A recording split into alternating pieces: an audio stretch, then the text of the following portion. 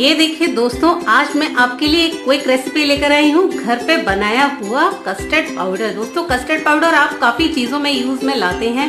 Ice cream हुआ या फिर कोई भी कस्टर्ड की चीज़ें होती हैं, वो आप बहुत ही पसंद करते हैं। और दोस्तों कस्टर्ड जो होता है, इसका बना हुआ फ्रूट्स के साथ वो तो बहुत ही मज़ेदार होता है। तो दोस्तों, आज आप भी अपने घर पे इस कस्टर्ड पाउडर को बनाइए। दोस्तों, इसमें जो इंग्रेडिएंट्स हैं, वो मैंने कुछ अपने घर पे ही बनाए हुए हैं।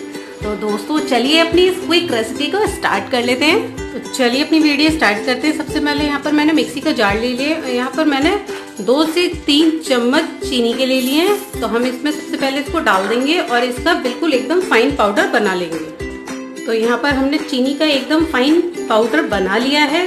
तो हमने यहाँ पर तीन चम्मच चीनी के यूज़ किया था। तो हमें अब इसका बिल्कुल हाफ़ मिल्क पाउडर ऐड करना है। इससे बिल्कुल दोस्तों बाज़ार जैसा स्वाद आएगा और आपका जो कस्टर्ड पाउडर है वो बिल्कुल एकदम बढ़िया सा लगेगा। और उसके बाद हमें यहाँ पर ऐड करना है कॉर्नफ्लोर, क्योंकि चीनी जितनी लिए उतना ही उसका आधा हमें कॉर्नफ्लोर लेना है, आधा ही हमें मिल्क पाउडर इसमें डालना है। तो हमें इसमें अच्छे से डाल दिया है इसको।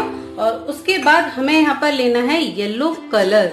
ये फ़ूड कलर है दोस्तों, इसको बिल्कुल हमें बिल्कुल चुटकी भर इसमें डालना है, बहुत मामूली सा। तो हम इसमें बहुत चुटकी सा देखिए, बिल्कुल एक पिंच बोलते हैं, जिसको उतना हमने इसमें डाल दिया है। और इसके बाद हम इसका एकदम फाइन पाउडर दोबारा से बना लेते हैं। अब हमने इसको अच्छे से ग्राइंड कर लिया। आप देख रहे हैं कि बिल्कुल हमारा ये जो कस्टर्ड पाउडर है होम मेड बिल्कुल बाज़ार वाले कस्टर्ड पाउडर की तरह लग रहा है। आप इसमें चाहें तो थोड़े से कुछ ड्रॉप्स वनीला एसेंस के भी ऐड कर सकते हैं।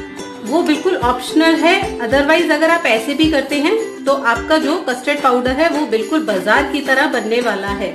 तो दोस्तों, इसको हम एक बाउल में निकाल लेते हैं।